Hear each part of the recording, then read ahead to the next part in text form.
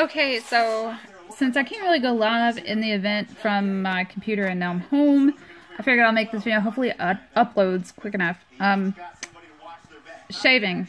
The best way to get a really good close shave.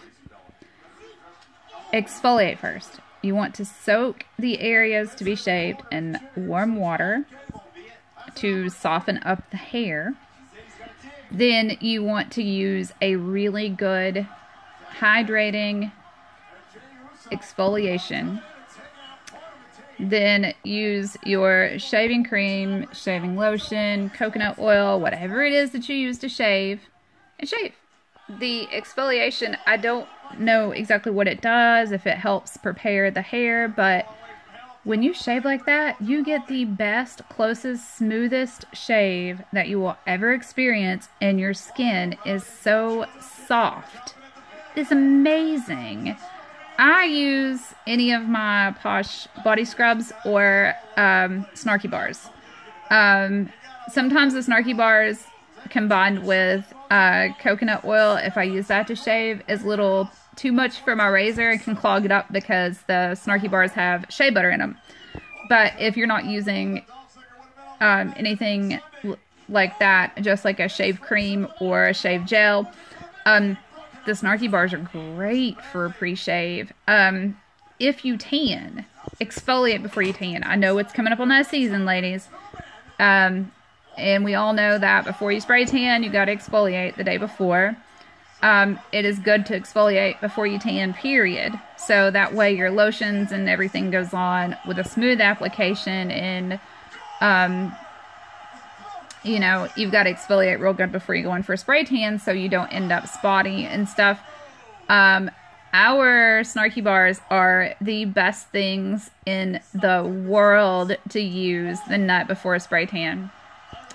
Uh, you could really use any of our um, body scrubs, but the Snarky bars have been noted by self tanners to be the best to use.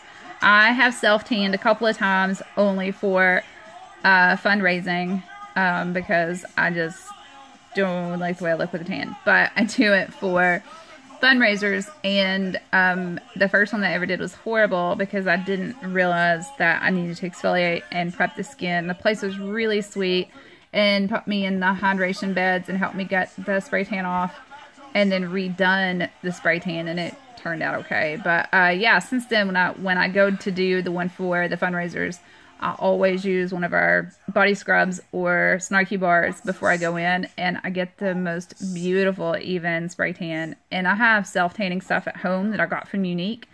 Um, I exfoliate with uh, Posh products the day before that I use those and uh, it turns out beautiful as well. And I've like perfected how to tan myself at home using a buffer.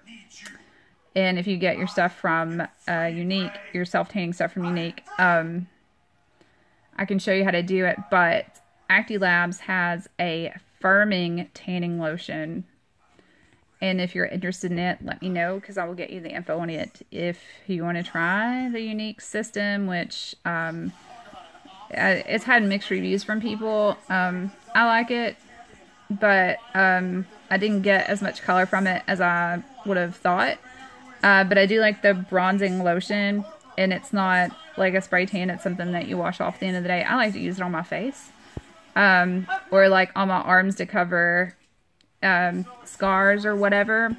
Um, but as far as an actual self tan, I like Younique, and I've perfected how to use their products so it doesn't streak. But um, uh, I like the ActiLabs uh, tanning, the firming tanning. But no matter which I use, I always use a Posh Scrub or Snarky Bar the night before. So, our scrubs and snarky bars are good for shaving and self tans. Ladies, it's getting that time. Stock up on them. I promise you will thank me if you follow what I'm telling you.